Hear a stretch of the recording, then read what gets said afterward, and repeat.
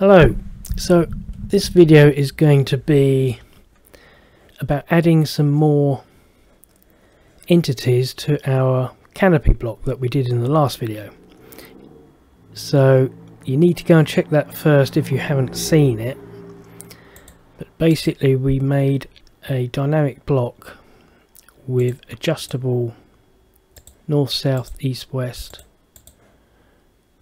selectors so that we can adjust on the screen or into the distances directly into the properties. So I'm going to select that and right click block editor and I'm going to save this as a new block and I'll call it arb tree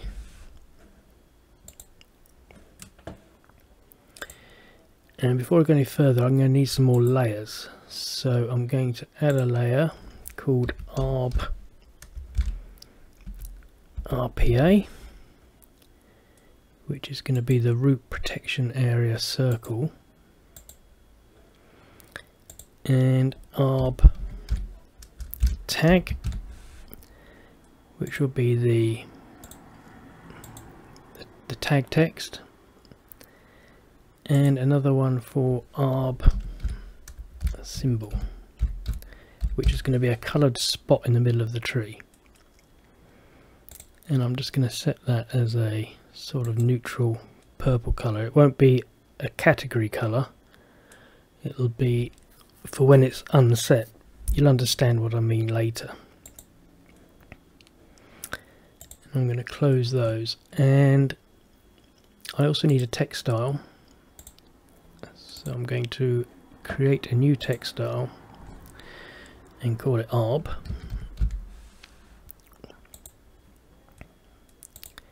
And just set it to Arial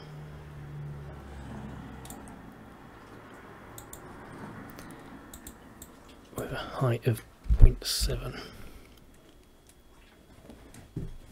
Okay. So, I'm going to start with a RPA circle and switch my grid and grid snap on. And draw myself a circle. It doesn't really matter where it goes because it's going to be adjusted. And set that to RPA layer. And the color sets by layer so it's gone magenta and I want this to be adjustable so I'm going to put in a linear parameter from the center switch off the grid snap to somewhere up here I don't want it down here because I'm going to have my tree tag there and I'm going to call this RPR. RPR is root protection radius. It's an RPA circle, but the distance that we measure them with is the, the radius, RPR. And I only want one grip point, so we're just adjusting it from that point.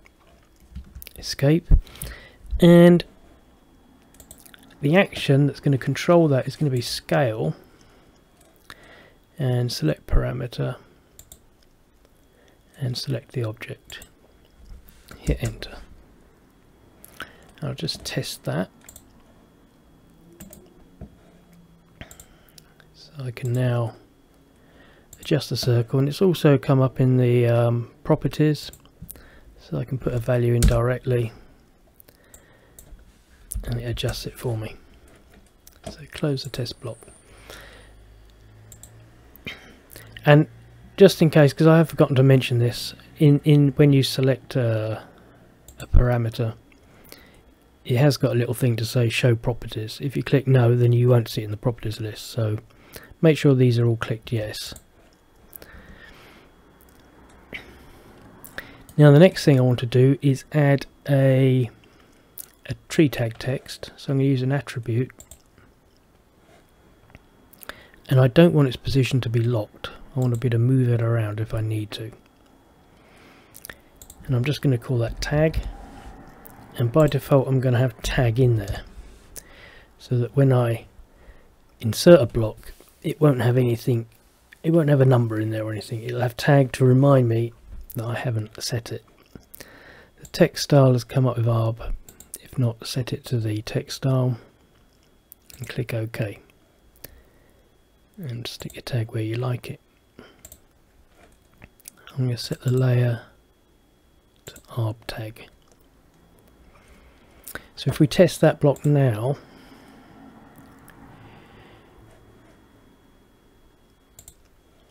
we've got an extra thing in the properties so I can actually put say T123 it comes up and I can also move it around which is what I wanted. So close the text block.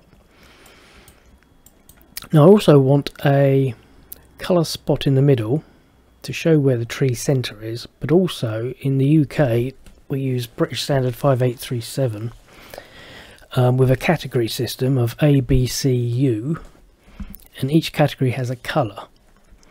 So I want to be able to colour the category, to colour the spot to match the category. And um, dynamic blocks don't allow you to change colours, or at least they don't on LT.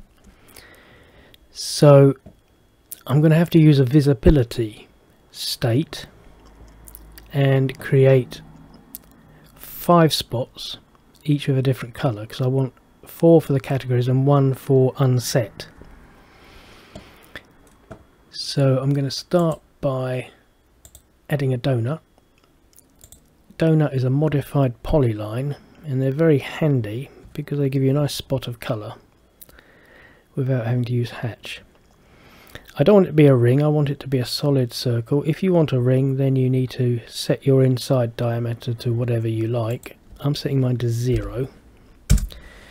And I'm going to set the outside diameter to one. Now I'm going to stick it in the middle. And assign that to ARB symbol and it's taken on my neutral colour which is going to be the unset colour. And like I said we need to have another four of these because we're going to use the visibility to control them. So I'm going to copy. Let's do it down here. I'm just putting them on the grid so I can pick them up later. I want four more and I need to add a parameter called visibility. And I'll stick him here. And I'm going to give him a name. I'll just call him category.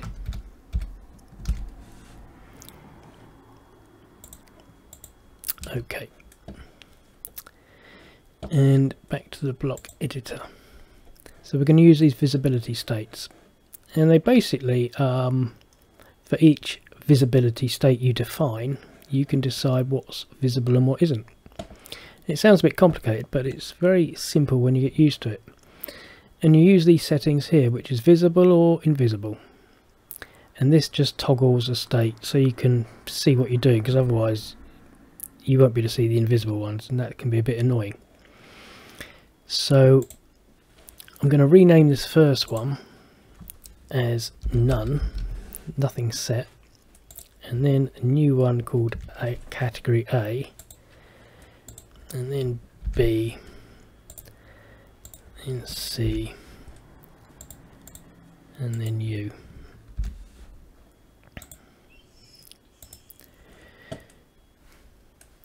So starting with none, actually before I do that I hit the escape, I need to colour these so let's have category A is green, category B is blue, and C is grey, and U is red. Oops, two set there. Okay, so visibility state none. I only want this one to show. So I'm going to select these four and make them invisible.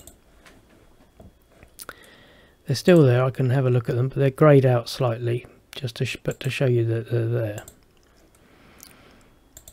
Visibility A, I only want the green one to show, so I'm going to select the other four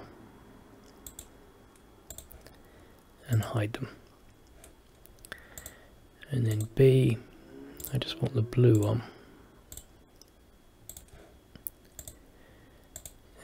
C, the grey one. And you I just want the red one.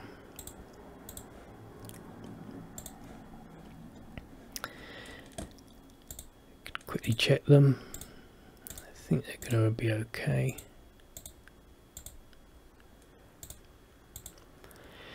And switch them all on and grab them and we need to put them all on top of each other.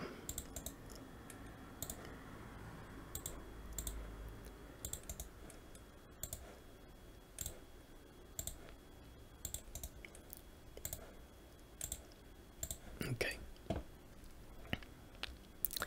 we can test the block if I now select it I can adjust the RPA circle adjust the canopy. I can change the tag number and I can change the category color. Blue red green U. And if nothing's set and just check I've got that on the right layer. Yes I have. Okay. And he's on the right layer. Okay. So I'm going to close the block and save the changes. This is the the old canopy block. So I'm going to insert the new one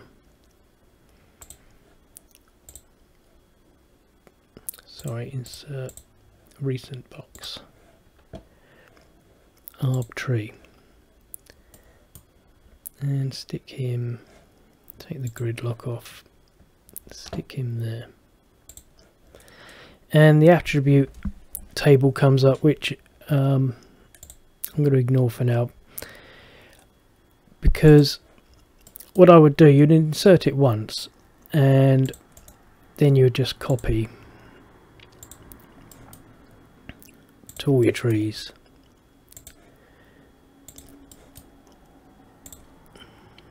that you're going to do.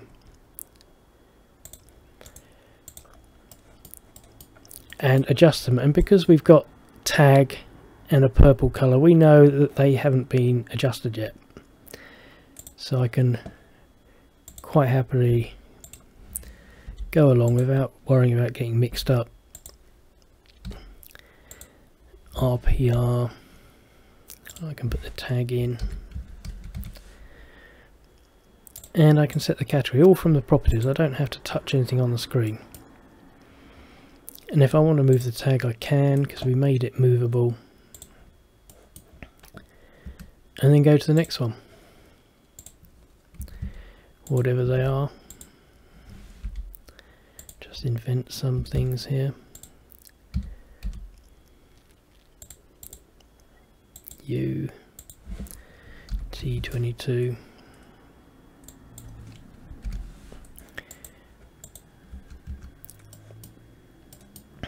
and when you finished of course you would um, switch off the topographical trees just to leave yours on there. And because we've used layers we don't have to go in the block to change colors we can just change our colours here if I want the RPA circles to be a different colour.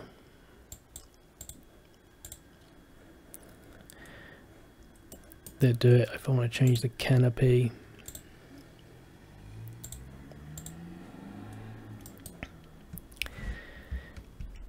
Just undo those. And that's it really. Um, bear in mind that drawing this in meters your topographical survey may well be in millimeters in which you have to gonna have to scale your block up by a thousand. Um, and they're portable so you can copy one of these and just paste it onto your next drawing. There's no need to redo all this every time. You do it once. If you want to modify it back into the block editor you could perhaps add a shadow arc axis lines if you wanted more text lines. There's only so much you can do because um, it's not really a programming system. It's very difficult to add intricate stuff.